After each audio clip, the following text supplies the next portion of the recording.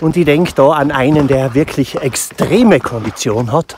Und zwar, der hat es als einziger Mensch, als erster Mensch geschafft. Stellt euch vor,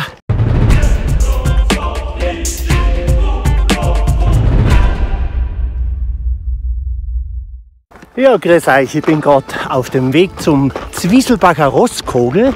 Wir sind da jetzt fast schon 1400 Höhenmeter raufgestiegen.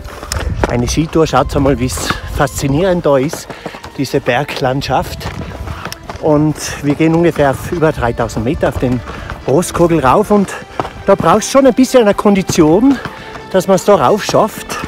Und ich denke da an einen, der wirklich extreme Kondition hat. Und zwar, der hat es als einziger Mensch, als erster Mensch geschafft.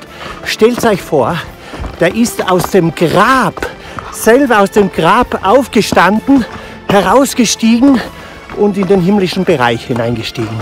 Es ist Jesus, den wir feiern zum Osterfest.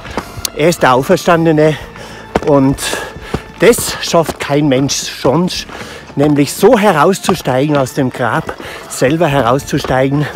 Und ich wünsche uns allen, dass wir an dieser Kraft von Jesus, an dieser extremen Kondition teilhaben, denn er schenkt denen, die glauben.